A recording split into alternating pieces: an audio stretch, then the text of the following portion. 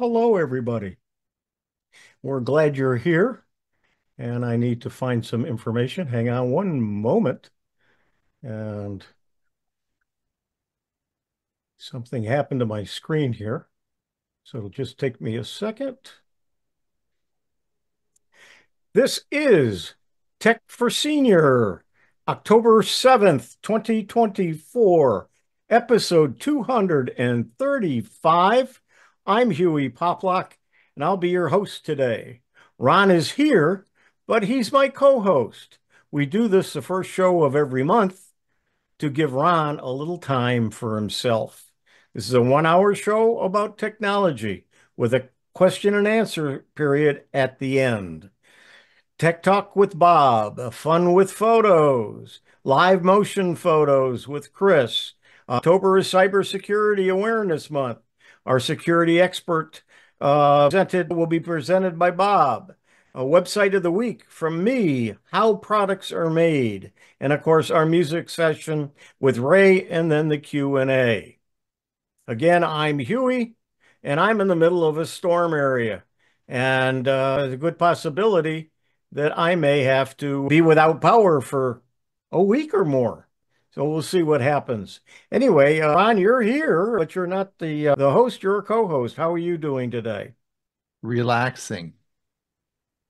That's good. You deserve it. you work you work hard the other weeks, and I know because I do it on the first Monday of the month. We did we did run into a little snag this morning, uh, but we'll we'll figure that out. So if Ron shouldn't be here, we we might not have been on the air, but uh, we'll we'll correct that. Bob, you're the voice of Tech for Seniors. How are you doing? Gee, you I probably all those things and it nobody nobody heard it. No. I said we're just fine here. Another nice day. We're not expecting anything, and for those of you who are, stay safe. Thank you.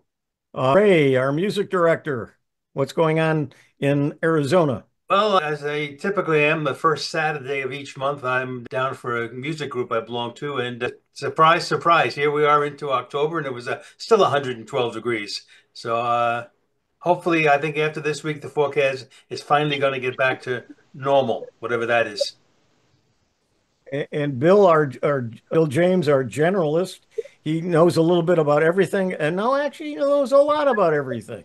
So uh, he's a PC, a Mac person. He's a he likes gadgets. And by the way, Bill, I've got a couple of videos I'm going to send you that have a couple of hundred gadgets that you can have fun looking at and maybe pick some out for us. Oh, I appreciate that. Thank you. Well, I think I'm a jack of all trades and a master of none, but I enjoy uh, learning so as long as that, that's kind of my goal.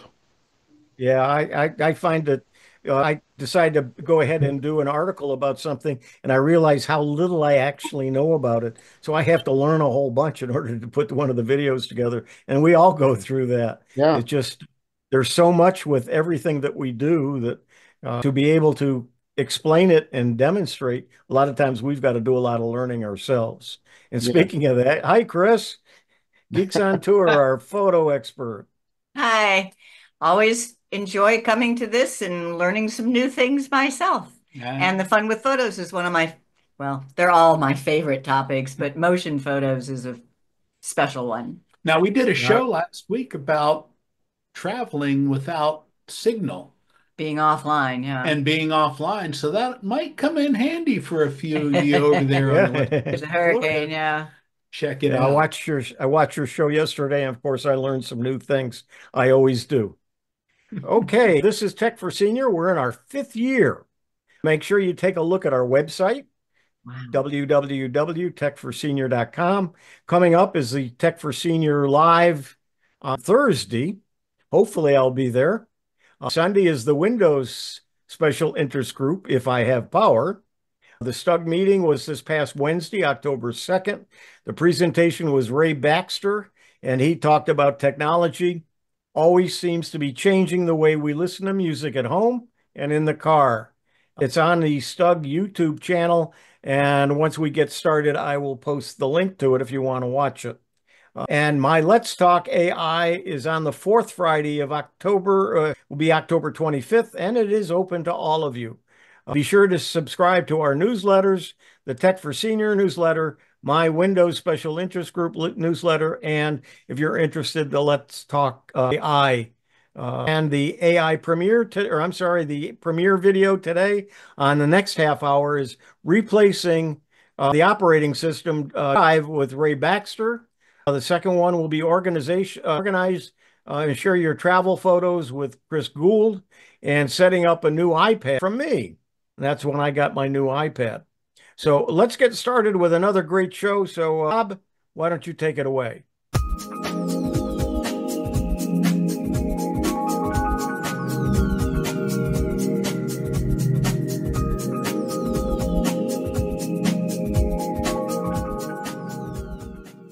Here's my Tech Talk and beyond for the week ending October 4th, 2024. This week's topic is your smartphone spying on you. How to take back control. Ever had that creepy feeling when your phone shows you an ad for something you just thought about buying? You didn't search it, didn't say it out loud, yet there it is, staring back at you from your screen. What if I told you your smartphone might be tracking more about you than you ever imagined?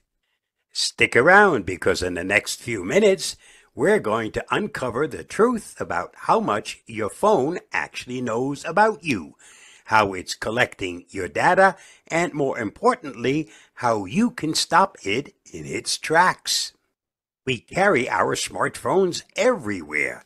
They're practically glued to us. But while they keep us connected to the world, they're also constantly collecting information in the background. From location data to browsing habits, apps and services are quietly siphoning off your personal data and sending it to, well, who knows where. And what does that mean for your privacy? Well, the short answer is it's disappearing. You might think, I have nothing to hide. But do you really want companies, or worse, hackers, knowing where you are, what you like, and who you talk to? Let's dig into what's happening under the hood and what you can do to fight back. Here's the kicker. Your smartphone is always listening, watching, and tracking. Let's break down some of the ways it's gathering information. Location tracking. Your phone constantly knows where you are, even when you're not using GPS. Apps collect this data to provide location-based services, but they also sell it to advertisers. Suddenly, your trip to the coffee shop isn't just your business, it's theirs too. Microphone access. Ever get the feeling your phone is eavesdropping on your conversations? Well, apps with microphone access can listen in on what you say, even if you're not actively using the app. Yes, they claim it's to improve your experience, but you have to wonder, improve whose experience? App permissions.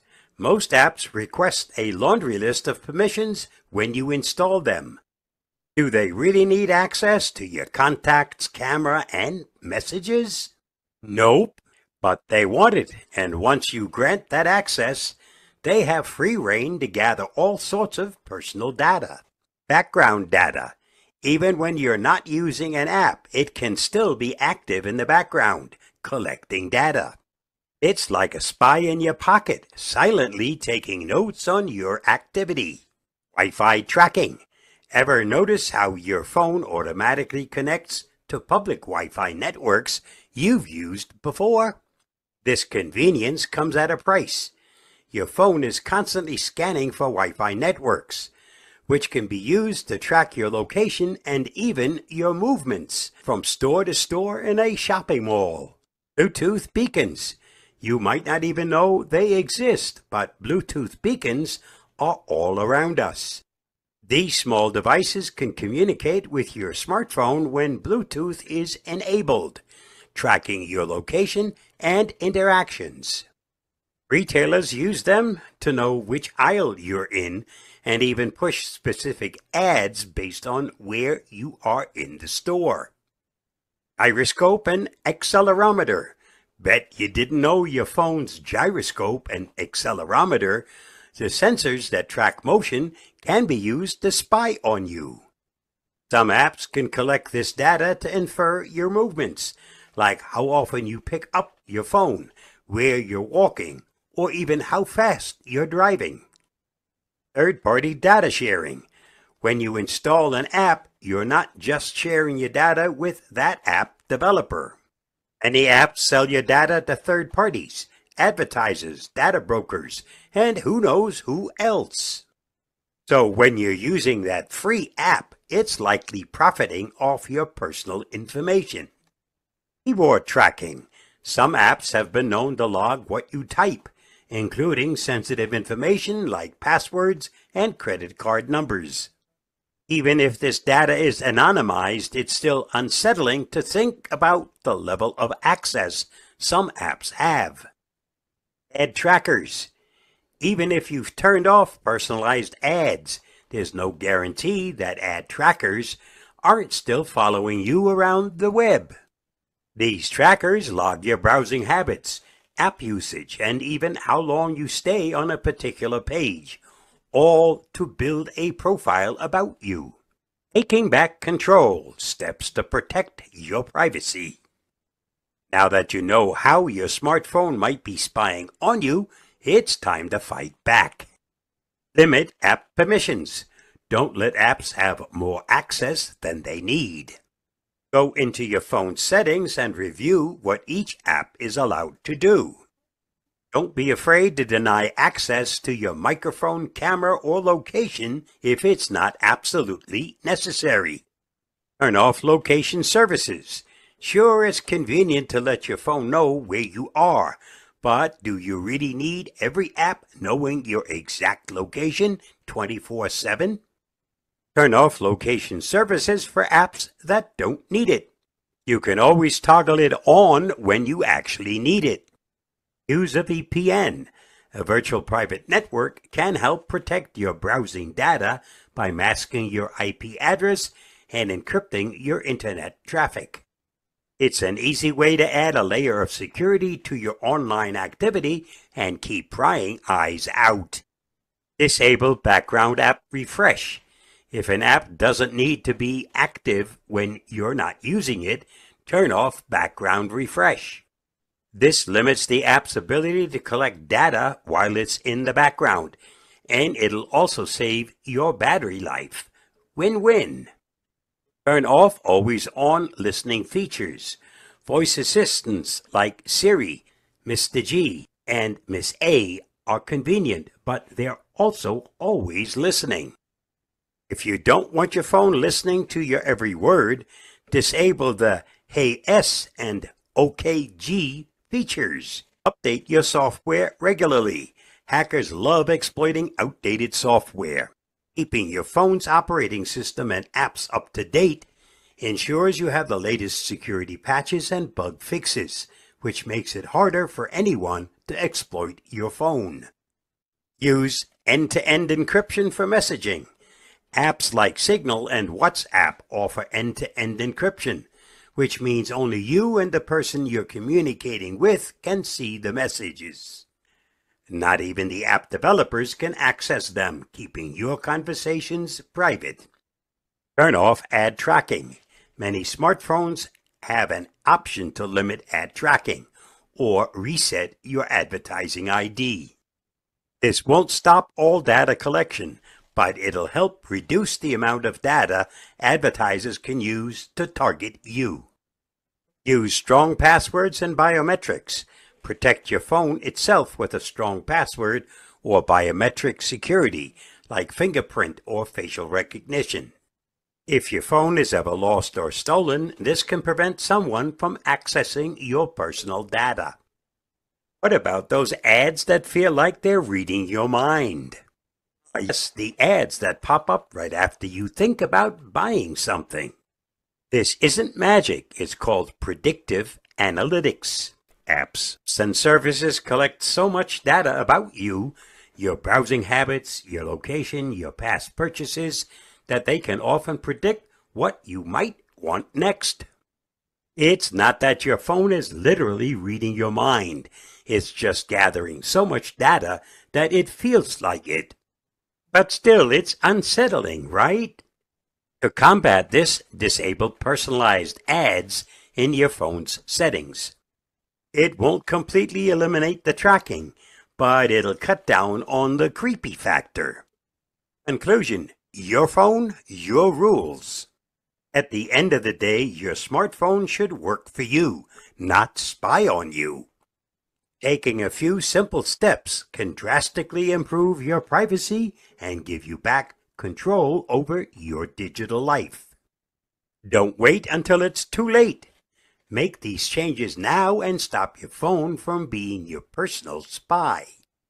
You'll find the video used in today's Tech Talk at the link listed. Did you know? When glass cracks, it seems almost instantaneous, thanks to the speed at which glass shatters.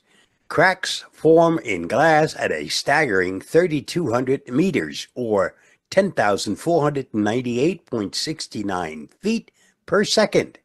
Thomas Edison invented an electric pen in 1876 that was later adapted to become the first tattoo machine in 1891. Cherry trees grown from cherry tree seeds kept aboard the International Space Station for eight months have started blooming years ahead of schedule, and researchers aren't sure why. Just thought you might want to know. Just because they say it's impossible doesn't mean you can't do it. Thanks to Roger Bannister. In my humble opinion, to not try at all is even worse. And that's a wrap for this week's Tech Talk and Beyond. Stay safe, stay secure, and I'll see you again next week. Bye bye, and thanks for reading, watching, and listening. Yeah, Bob, uh, some of the things that uh, phones do about collecting data, I like. I just got my notice uh, from last month of all of the places I traveled to with a map and so on. And I can go back a couple of years, several years, and see where I went. And uh, it actually will list the different stops that I made. So, and that's fun to look at. And I don't have a problem with it doing that. So sometimes uh, turning off some things can be fun. And one last thing you were talking about glass shattering. I saw recently a, a pile of glass and they called it a do it yourself kit for making windows. And with that, we'll turn it over to Chris and uh, she's going to talk about live motion photos. Chris, go ahead. Okay, yeah, this is a feature on most phones, not all. So iPhone definitely, Samsung, higher models. But it, if you have it, use it. It's so cool. Have you ever noticed when you're swiping through your photos on your phone that there's some movement in there. On your iPhone, that's called Live Photo. I want to show you where it comes from and what you can do with it. Then Samsung and Pixel have similar features. On Samsung, it's called a motion photo, and on the Pixel, it's Top Shot. iPhone is by far the most feature rich so that's where I'm going to spend most of the time today. And then I will show you just a little bit of Samsung and tell you about the Pixel. First, how to take a live photo with an iPhone. It's, in, it's just in your camera. You tap on the little bullseye in the upper right hand corner. You make sure that you're set to photo and then you just snap a picture with the shutter button like normal. And I want to I want to show you that. And one of the really interesting things is it captures motion before you snap the shutter button. So I'm going to ask Jim to use his hands and count one, two, three, four, five. I'm going to snap the shutter on three and then show you the results. So here is the Apple camera, and it's this button right up at the top. Notice I'm in, I'm in standard photo mode and that little bullseye, I tapped it once and it says live off. I tap it again and it says live. So the live feature is now on. And Jim's gonna go one, two, three, three. four, five. So I tap the shutter button on the count of three and let's see what I got. So I see a photo that looks like just a still shot of when he's holding up three fingers. But if I touch and hold on it, you see all, you see the whole count of five. So then what can you do with it? You can, you can pick a frame. So this is all on the iPhone. And how you pick a frame is you go into edit mode. So on this photo, I tap the edit button. It's this little sliders button. And then you tap the live button. And then you can pick another frame. So I can go to where he just had up one. If I wanted to have an I'm number one, and you tap make key photo. But let's look at some better examples. So here is a motion photo that I think is a little bit more interesting. It was somebody jumping into the water, scuba diving, and she's halfway into the water, but touch on it, you see I get her actually jumping. I would like to have her mid-air.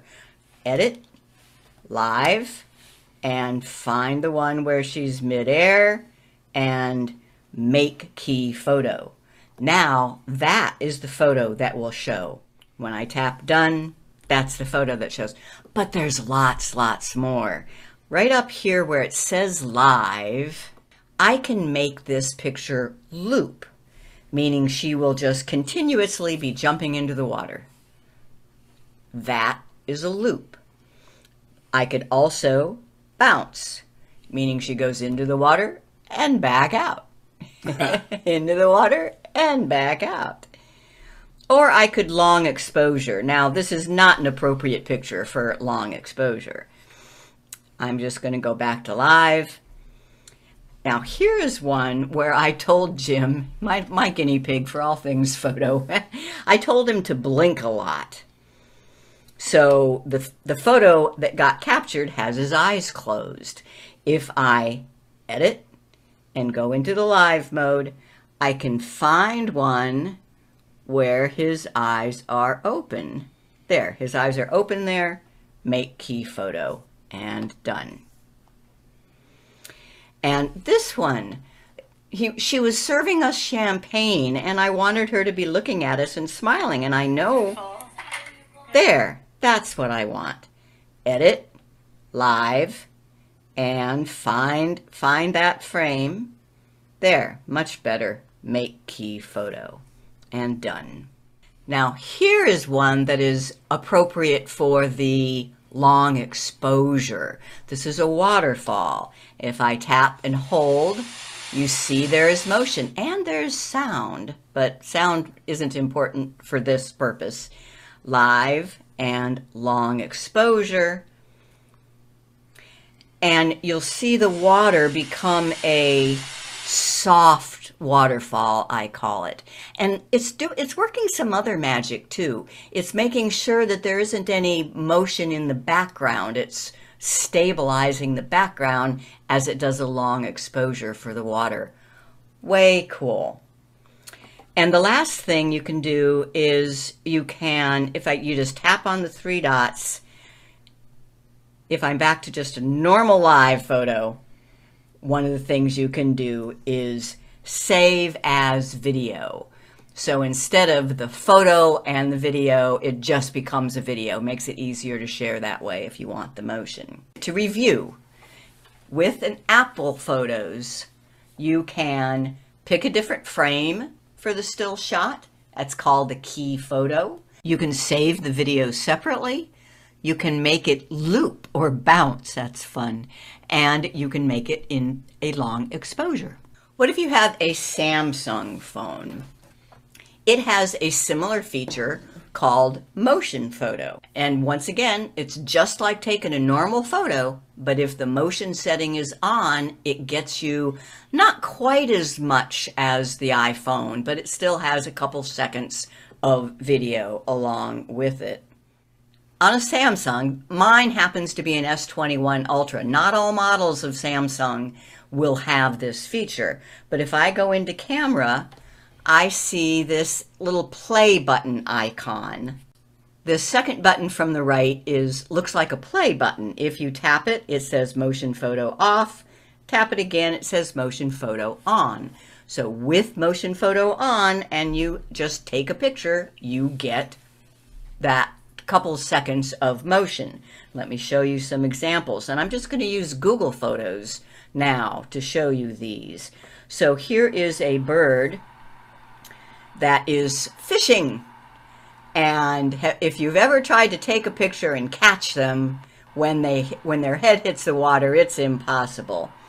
How am I seeing that motion? It's this little play button right here. This is in Google Photos. You can play the motion or you can tap pause and just see the still. And you get the proper frame by scrolling up and then you see all the shots in in this in the motion photo and you can get whatever one you want. If i want him just just aiming for the water i can take that and you tap save a copy. So instead of making a key frame it saves a whole other photo. You still have your original motion photo and you have the still then actually, if that still is all that you really want, you might want to go back and delete the motion photo because they are big files with that two seconds of video. Here's the review. Using Google Photos on Android, you can view the motion from either iPhone Live Photos or Android Motion Photos. Just click the play icon.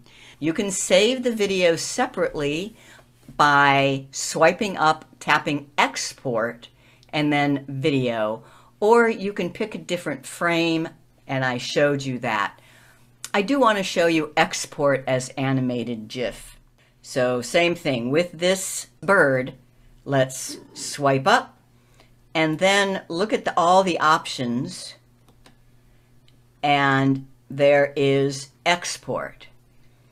Export and GIF and export.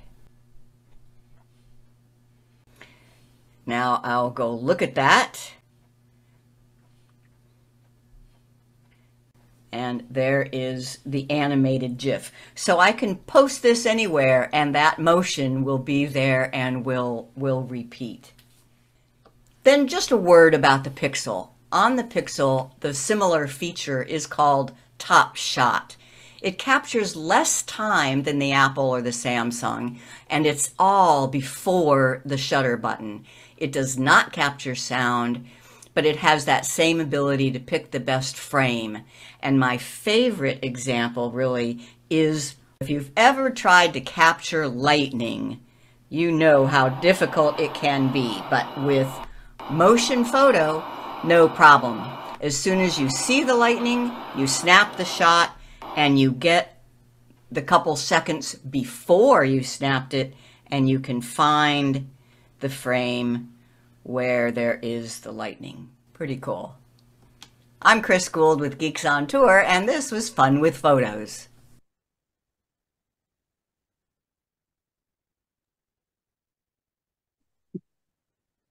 Stop your sure? Uh, thought I did.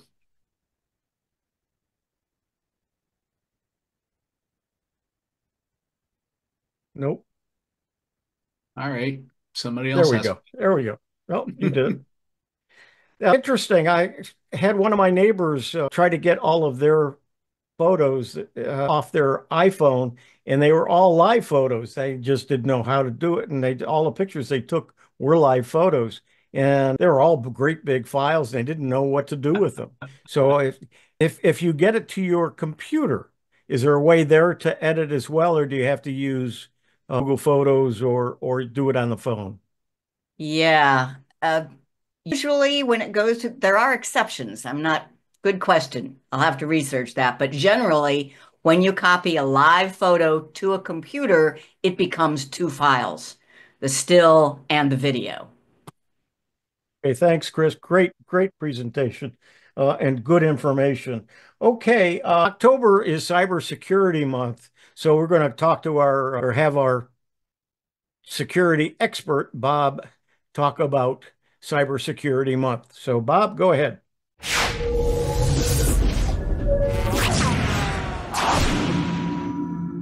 October is Cybersecurity Awareness Month. It's an annual reminder to stay safe in the digital jungle. Greetings, cyber explorers. Welcome to October, the spookiest month of the year, and not just because of Halloween. It's Cybersecurity Awareness Month, a time to remind ourselves that the internet, while amazing, can sometimes be like wandering through a digital jungle.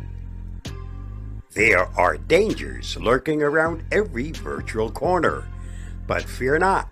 With a bit of knowledge and the right tools, we can swing through this jungle like pros.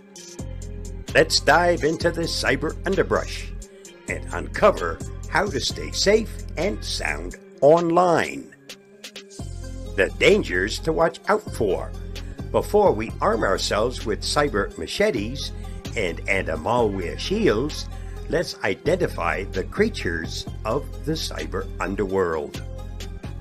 Phishing attacks.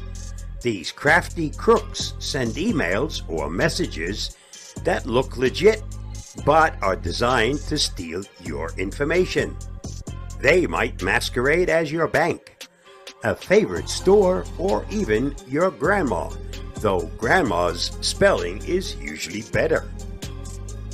Phishing can come in the form of emails, text messages, or even phone calls, and often involve urgent or threatening language to trick you into providing personal information. Malware, malicious software, that includes viruses, worms, and Trojans. It's like inviting a termite colony into your wooden cabin. Yikes! Malware can damage your files, steal your data, or even allow attackers to take control of your device. Common signs of malware include slow performance, frequent crashes, and unexpected pop-ups. Ransomware. Imagine a cyber pirate hijacking your ship and demanding treasure for its return. Pay up or walk the digital plank. Ransomware encrypts your files, making them inaccessible until you pay a ransom to the attackers. Even then, there's no guarantee they'll restore your data. Spyware this sneaky software spies on your activities, gathering intel without your consent. Think of it as a nosy neighbor peeking through your blinds. Spyware can track your keystrokes, capture your passwords, and monitor your online behavior, often leading to identity theft or financial fraud. Adware it bombards you with ads, slowing down your device. Picture a pop-up book where the pop-ups just never stop. While adware is generally less harmful than other types of malware, it can be incredibly annoying and may also track your browsing habits. DDoS attacks, distributed denial of service attacks overwhelm servers, making websites unavailable. It's like a virtual flash mob that crashes the party. These attacks flood a website with traffic, rendering it unusable for legitimate users and often causing significant financial and reputational damage. Tools to protect yourself. Now that we know what's out there, Let's gear up with the best cyber protection tools. Antivirus software. Norton, Avast, AVG, and Bitdefender are the cyber equivalent of a sturdy shield and sword. They can detect and eliminate various threats. Make your choice, but remember, only choose one. More is not better in this case. Antivirus software scans your computer for known malware, removes it, and protects you from future infections. Make sure to keep it updated regularly. If auto update is available, leave that turned on. Firewalls. Think of these as your digital moat, keeping unwanted intruders out. Windows, Mac OS, and most operating systems have built-in firewalls. Make sure they're enabled. Firewalls monitor incoming and outgoing network traffic, blocking suspicious activity and unauthorized access. VPNs, virtual private networks. Tools like NordVPN, Avast SecureLine VPN, and ExpressVPN create a secure tunnel for your data, perfect for those who value privacy, like secret agents or anyone using public Wi-Fi. VPNs encrypt your internet connection, making it difficult for hackers to intercept your data and providing anonymity online. Password managers, tools like Bitwarden, Dashlane, and 1Password help you create and store complex passwords because password 123 just doesn't cut it anymore. Password managers generate strong, unique passwords for each of your accounts and store them securely, so you only need to remember one master password. Passkeys. Passkeys, a new form of passwordless authentication. They work by creating a unique pair of cryptographic keys, a public key that's stored on the website or app, and a private key that stays on your device. When you want to log in, your device confirms your identity, often using biometric like Face ID or Touch ID, and the two keys work together to grant you access without needing to type in a password. Two-factor authentication adds an extra layer of security by requiring a second form of verification. It's like a second lock on your door. Burglars be gone. 2FA typically involves something you know, a password, and something you have, a phone or security token making it much harder for attackers to access your accounts. Best practices to follow. Now, let's talk strategy. Here are some best practices to keep you out yes. of the cyber trap. Keep software updated. Always update your software and operating systems. Those updates often patch security vulnerabilities. It's like getting a new and improved lock on your door. Enable automatic updates whenever possible to ensure you're protected against the latest threats. Use strong passwords. Avoid the obvious. Combine letters, numbers, and symbols. If your password is password or 123456, we need to have a serious talk. A strong password should be at least 12 characters long and avoid common words or phrases. Consider using a passphrase, a series of random words strung together. Be wary of links and attachments don't click on anything suspicious. If an offer sounds too good to be true, it probably is. Remember, no Nigerian prince is going to send you millions. Verify the sender's email address and look for telltale signs of phishing, such as poor grammar or unusual requests. Back up your data. Regularly back up your important data. If ransomware strikes, you'll be able to restore your system without paying the cyber pirates. Use both local backups, like an external hard drive, and cloud backups for redundancy. Schedule backups to occur automatically so you don't forget. Educate yourself and others. Knowledge is power. Stay informed about the latest threats and share this knowledge. If you can teach grandma to use email, you can teach her about phishing too. Follow cybersecurity blogs, attend webinars, and participate in training sessions to stay up to date. All devices, all operating systems. The digital jungle doesn't discriminate. It's out to get all of us, whether we're using Windows, Mac OS, iOS, Android, or even a smart toaster. Here's how to stay safe across all platforms. Windows. Use Windows Defender. Keep Windows Update active and be cautious with downloads. Windows Defender is a robust built-in antivirus solution that provides real-time protection.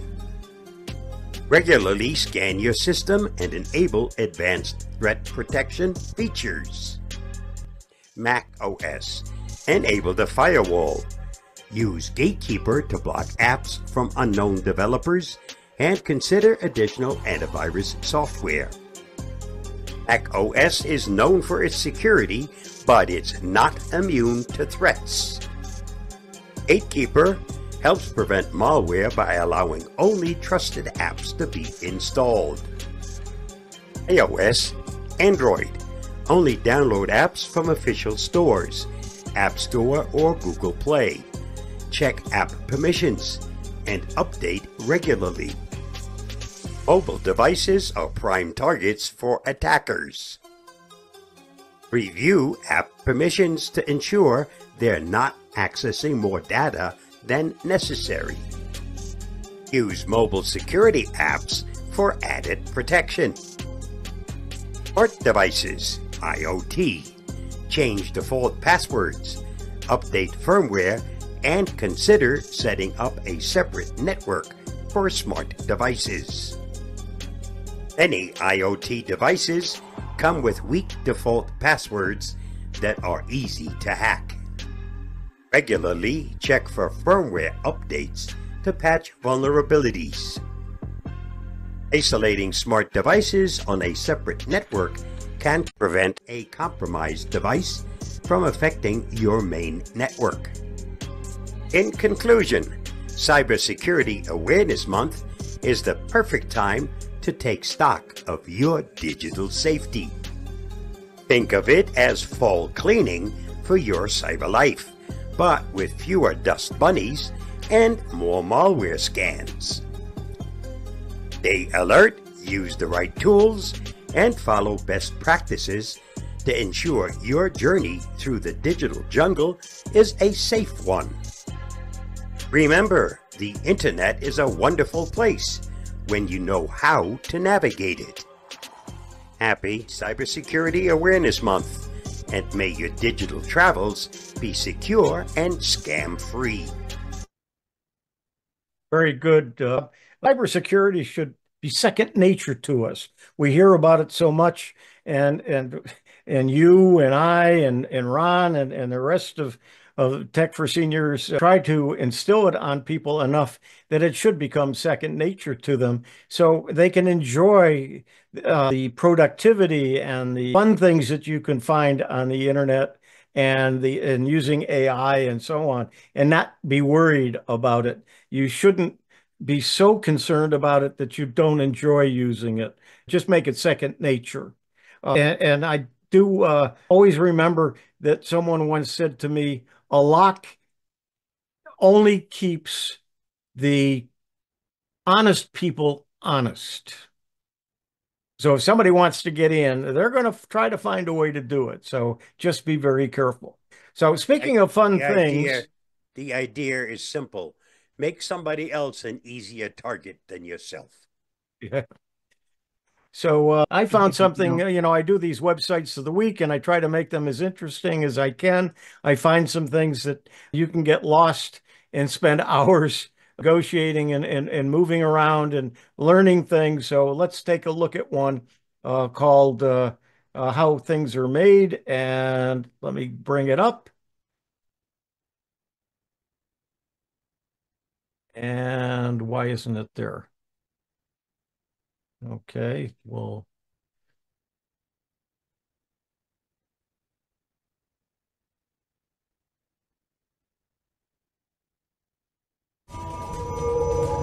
Tech for Seniors present the website of the week with Hewie Poplock. Please like this video and subscribe to our channel. Website of the Week number 22 presents MadeHow.com, a treasure trove of information that demystifies the manufacturing processes behind an extensive range of products, from items like you use daily, like refrigerators, and vacuum cleaners to more complex technologies like jet engines and nuclear submarines. This website offers a deep dive into how these products come to life. MadeHow.com provides step-by-step explanations complete with illustrations and diagrams detailing every stage of the assembly and manufacturing processes.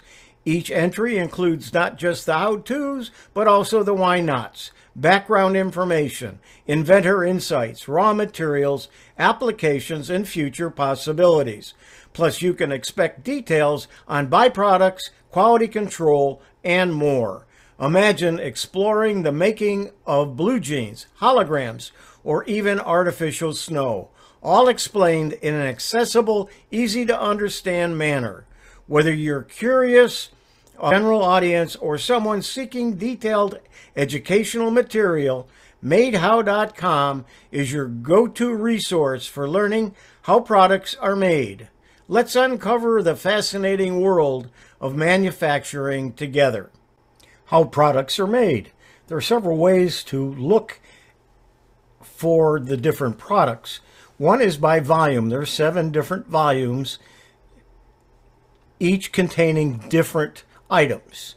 Or you can do it alphabetically and it will show them across all of the volumes. Or you can do a search. So let's do a search for candy corn.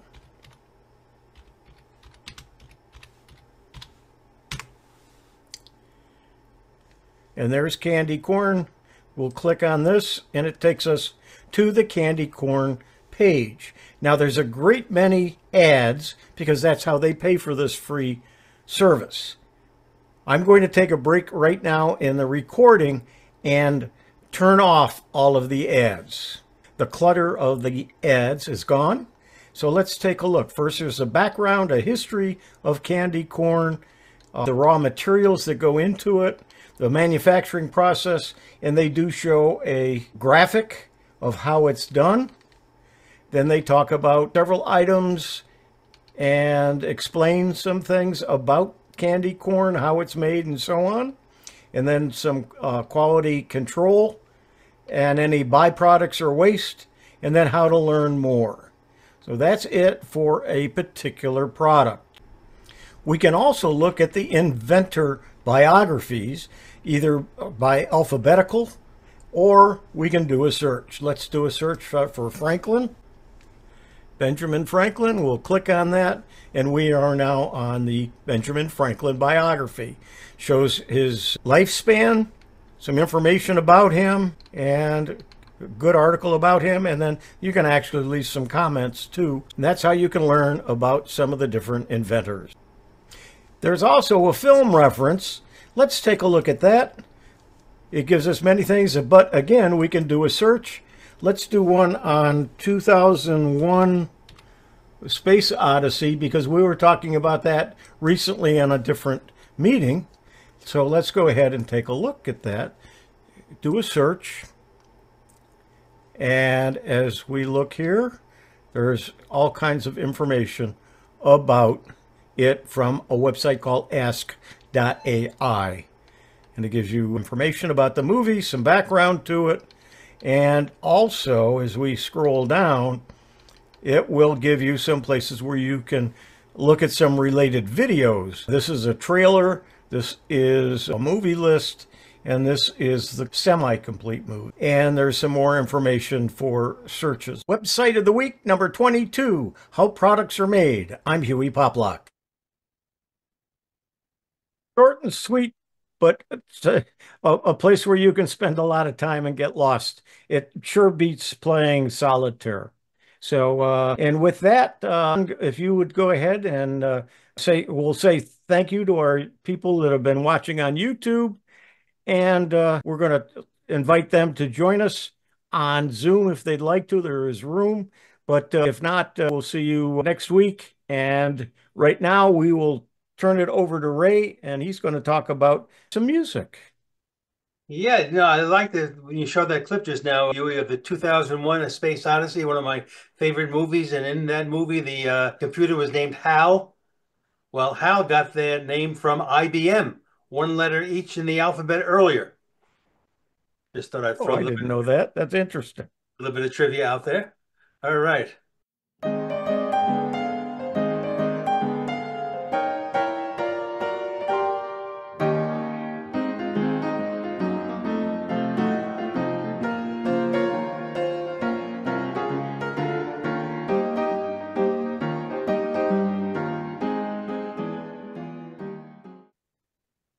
Uh, today we're going to talk about Kris Kristofferson, singer, songwriter, and actor.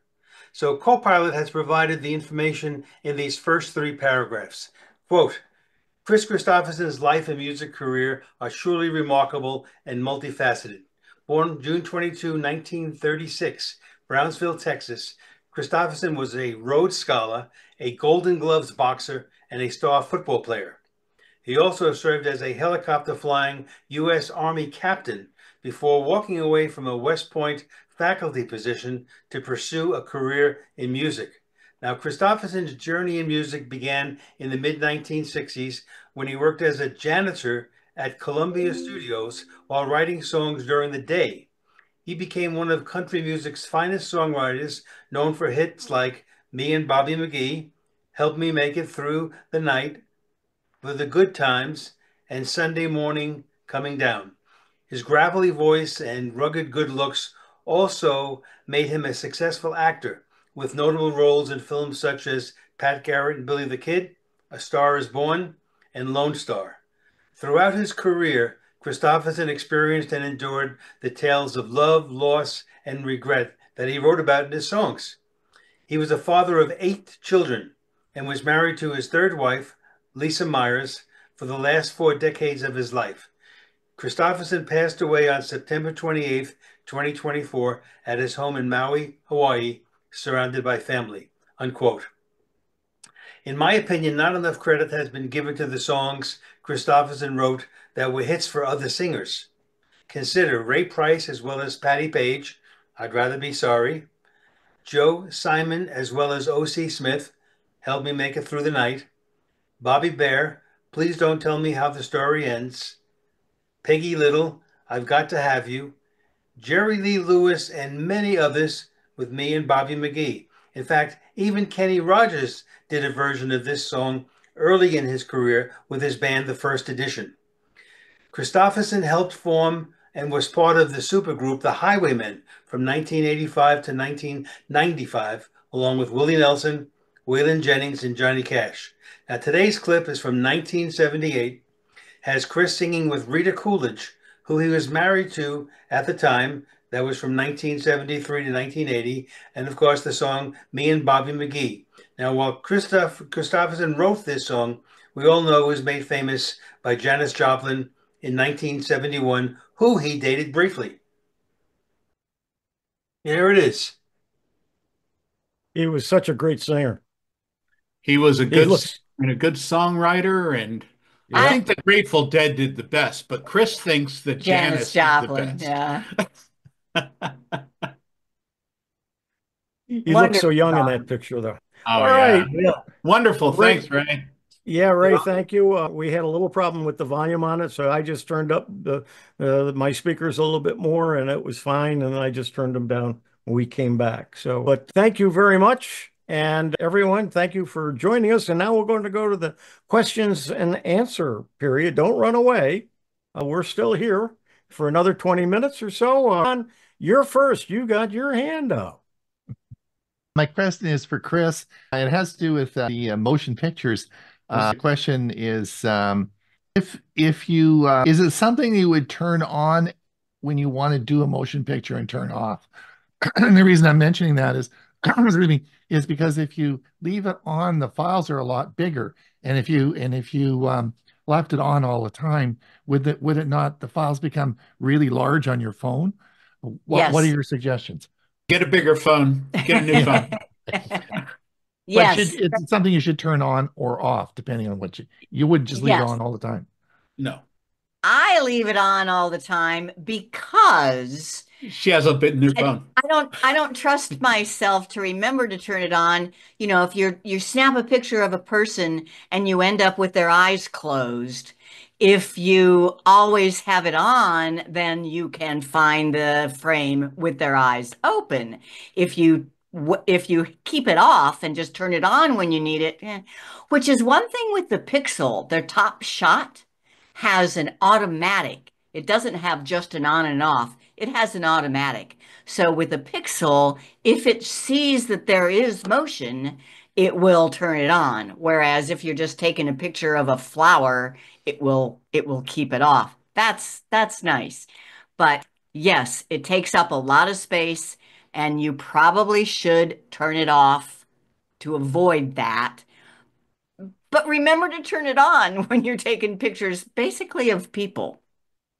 Yeah, and that was the interesting thing on my, yeah, and that was the interesting thing on my Pixel was because I I couldn't find it. There wasn't I couldn't find it, but in fact, it wasn't it wasn't it was in the automatic mode, so it wasn't doing it wasn't doing the motion pictures because I don't usually take pictures of something moving, right? It's it's as long as if it's a static, not moving picture, then it's not going to turn on, right?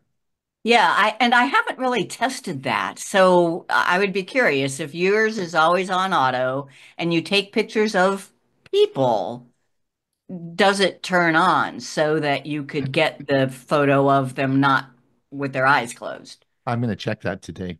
Yeah. I'm I mean that's what it should do. But I haven't tested it. And I like, I like, go ahead. 160 miles an hour, Cat 5 now, are you? Oh, gosh. I, I better put mine on the uh, live motion so I can get some good pictures and, and and if the camera if I disappear while I'm holding the camera, at least I'll have some good pictures. Only if they're uploaded to the cloud, you know, when you're yeah. going it's going to be, there are going to be a lot of them, a lot of clouds. All right, Murray, your hand is up next. You're muted. Yeah, I, a couple of things. First of all, when you commented about glass, something else you might not know about glass. It's it's actually a liquid, a very very liquid, a viscous liquid. liquid. and uh, I sort of, uh, well, if you look at a very old building with the glass from hundred years ago, you'll notice that it's thinner at the top and thicker at the bottom because it's been slowly flowing down. I discovered this when I was a kid. I was into glass blowing, and this drugstore had uh, racks with glass tubing on it. And the glass tubing, some of it was oval, not round, because it had been sitting there for a long time. Then I have a, a, a technical question about uh, Chromebooks. Um, one of the uh, fellows in our re- residence has a Chromebook and he, he can't get it off a dual dual split screen. There's a horizontal bar across the middle. You can move it up and down, uh, but you can't move it all the way down. You can't move it all the way up, and uh, you can restart his computer, and it doesn't. You can't get rid of that split screen. I'm wondering if if anybody has a, an idea of why that is and how I can help him fix it. It's a setting. it's a setting that he's turned on, and I, I don't have my my Chromebook here. I'll I'll look that up and send it to you, Murray. but it's a, it's a setting. okay, thank you very much. That's great. And then I have another question. There's a lady who uh, has quite has uh, difficult memory problems, and she but she wants to be able to use the computer in our building for email, and but that's all she wants to use it for. And I'm wondering what rate what email you would recommend to set up for her so that uh, on a, what is essentially kind of a public computer. I mean, it's not accessible to anybody but the residents, but um, to, to be able to uh, do what what would be the simplest for her to learn and use email? Do you think? Any any opinions? I'd say probably Gmail. She just has to remember to sign in and to sign out. Right. Yeah. Well, of course, that would be the case. And of course, if you turn off the computer, it's one of those ones that automatically wipes out all the cookies and all that when you turn it off. Okay. Uh, before we go to Carl, I would like to welcome Lillian from Jacksonville, Florida. I don't believe I've seen her on here before, and we're glad you're here and welcome. Uh, everyone, uh, welcome Lillian. And with that, the next uh, question, Carl, you had your hand up. Yeah. Okay. Best wishes, first of all, with the storm for you and all your neighbors in the area. Uh, I want to mention to Chris, I tried that uh, live uh, video or photos, and what I found on my S24 Samsung is that it shows a, you know, the two seconds or so of each frame, but I could not click on an individual frame. When I went to do that, it went back to you know, just one frame. No, not that frame, but went back to the original video. When I click on it, you know, it runs the short video, but I couldn't pick an individual frame for some reason. Okay. First, were you using Google Photos? No, I was using uh, just Samsung. Samsung. Okay. And I forget. You know, I, I, I, clicked on that little, you know, uh, icon, the second from the right, as you pointed out, and it would take in fact, I did a, a, a video of you explaining the, the feature. and what I, it was just, you know, convenient. And so then I went to try to pick out an individual frame like you did with, you know, your husband.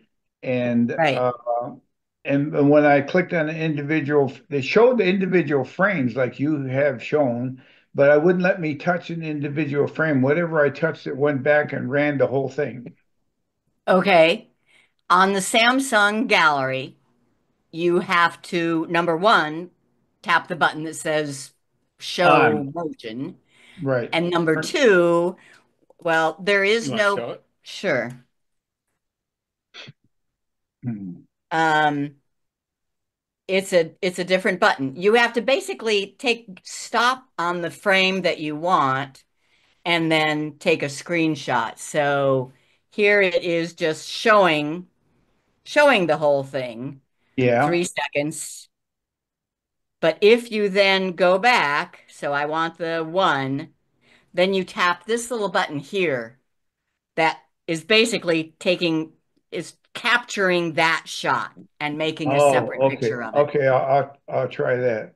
Okay, very good. And I wanted to comment to Ray on uh, Kris Kristofferson, you know, served in a you know, some of their prior life. I remember, you know, watching, uh, you know, I was, of course, raised, watched a lot of movies from the 40s and 50s, and it always amazed me that people that you saw, like Kirk Douglas and, uh, you know, uh, Henry Fonda and other, that they served in the military. And when you saw them, and I don't mean as entertainers, you know, but actually served and were drafted. And it, it was always you know, it was their other life. You didn't, you didn't, you never realized they had another life before being movie stars. Yeah, when when I uh, put the, together the notes and I saw the word Rhodes Scholar and Golden Gloves boxer in the same sentence, uh, yeah, it was pretty impressive. Yeah, very very good. Thank you, Bob. You have your hand up.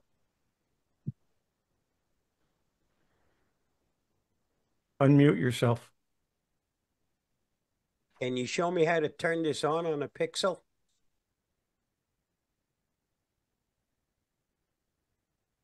Chris?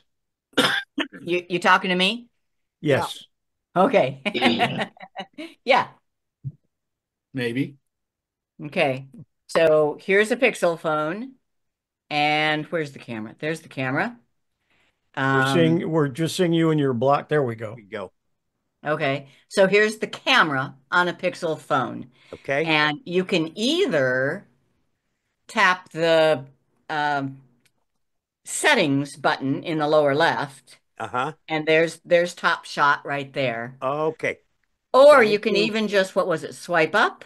Yeah. Swipe yeah. up gets you to the photo settings and you have as I say there's off, there's auto, there's on. Okay. And, and Chris, you. I I checked and uh, I went back and looked at some images of people and the top shot was automatic and they were lots of then when I swiped up you could see the all the pictures to choose from. So you you could see that. And but it but but some pictures I took this morning of the sunrise it's on auto and it it's it's not there right? Because there's no motion right? So yeah. so it is that's not cool. not not within three seconds not anyway. discernible. Exactly exactly. So I think that's a really good feature. That's why I like that is. Yeah. That is. I I do wish the Samsung and the iPhone had the auto feature Right. So Bob, just remember that when you go and take Pickles a picture now.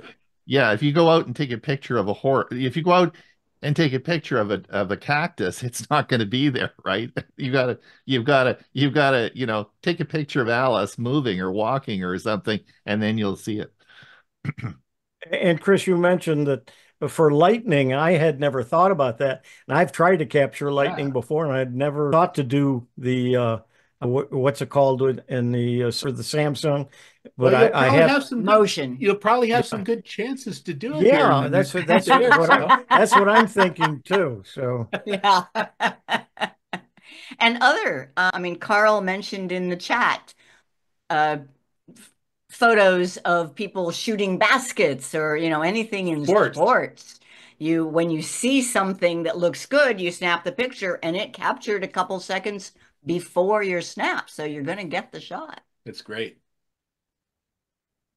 Wish my mind worked that way. Yeah, really. Murray, your hand is up again. Go ahead. Yeah, I just want to mention in Victoria, you sure don't get very very many chances to see lightning. Maybe once every ten years we get a, a lightning lightning storm. Well, you can move to Florida yeah, we're we're the we're the lightning capital of the world. You're yeah, I don't think I want to move there pictures. today. I don't no, there probably not today. but I used to get, spend lots of. I used to go there every year when I lived in the east. I used to go there for ten days or two weeks every year. Oh, Usually oh, either Christmas or or Thanksgiving. this is the one time of the year that I think I'd like to be somewhere else. Yeah, but uh, it's not often I want to be. I hope we can. Yeah. Carl, your hand is up.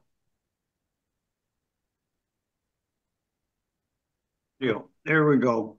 Uh, speaking of lightning, uh, here in Michigan, we get lightning, and uh, and it really hits objects. You know, it really destroys things. And I have a ham tower, and it's been hit a few times. But I was out in Arizona one time, and I saw all. I met a ham out there, and I was looking at his tower. It wasn't grounded. I said, How can you have this 60 foot tower and it's not grounded? All the lightning in Arizona is cloud to cloud. It doesn't go to the ground. I was a little shocked. If you were shocked, you got hit by lightning. Well, that was figure of speech. oh, okay. That's not necessarily true, uh, Carl. Uh, most of the forest fires that we have to contend with here in Arizona are started by lightning. Well, that well that makes sense. Almost all of them in the whole Northwest in Canada too. Yeah. So we, they hit the ground for sure. Okay. Is there any uh, any other comments or questions? Thank you all for being here. Don't forget Tech for Senior live on Thursday. I hope I can make it, and I'll be there. Uh, if not, Ron will do will do it without me, and and hopefully uh, I'll also have power by Sunday uh, to be able to do the WinSig. So with that, on behalf of the entire crew at Tech for Senior, thanks everybody. Stay safe. Good luck, Hewie. Thanks, guys.